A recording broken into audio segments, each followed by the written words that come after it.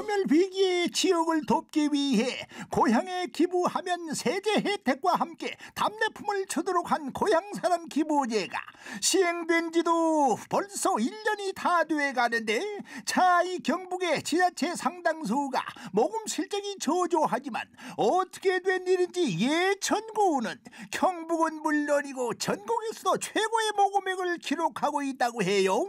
이자연 예천군 징수팀장 어, 수해가 발생했을 때 출향인 분들께서 예천이 큰 어려움을 당하고 있으기에 막 그 어려움을 극복하는데 힘을 많이 실어주신 것 같습니다.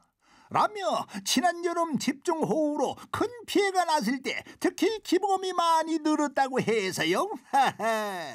그 술 마시고 먹고 놀 때야 형 동생이나 부르는 이들도 놀렸지만 진정한 벗은 어려울 때 모습을 드러내는 법입지요.